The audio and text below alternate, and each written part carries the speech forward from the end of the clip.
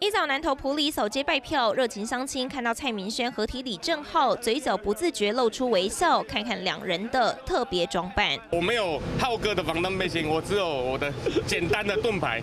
美军等级防弹背心都出动，蔡明轩还把看板背身上，当做盾牌挡进攻。因为两人才被马文君大动作提告，笑称不怕被告，怕的是被开枪。我们也不怕他提告，假设最后我们没有事的话，那就代表我们说的就法院认证过的。很疑惑为什么马文君要突然提告，后来了解到原来明轩的民调已经正式超车马文君了，所以对马文君来说压力非常非常大，所以才在我跟明轩针对马文君。超过一个月之后，忽然提告，所以这件事情显示马文君急了。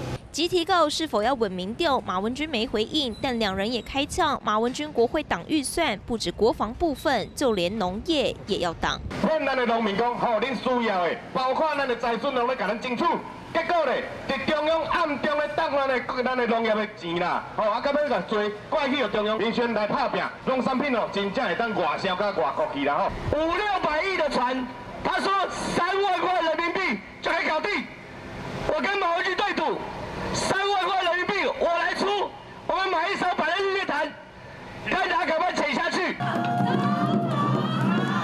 要拼战胜马文君进入国会，蔡总统也来帮忙助选。那个选立委哦，我要选起来能够锲而不舍，不会放弃，会使去中央各部会安尼一个一个安尼去讲。马文君泄密争议持续延烧，绿营趁胜追击，力拼蓝天变绿地。三立新闻王成伟、邱瑞阳、蔡明宪、许轩南投报道。